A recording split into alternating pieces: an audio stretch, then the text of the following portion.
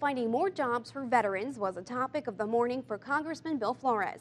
He hosted an event at the Baylor, at Baylor University with other lawmakers to talk about ways to help Uh, I'd vets like to find new careers uh, when they return quick, home. uh, Several veterans were there to express their concerns, which helped spark ideas for new ways to boost employment. We send soldiers overseas and they have to learn culture and language, but yet when we release them into the private sector, there's very little training that goes on. And we had great ideas that came out.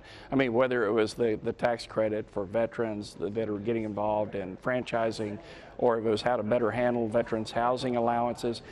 Congressman Flores will form four or five veteran job initiatives with the findings from today, and they'll be added to the legislative agenda.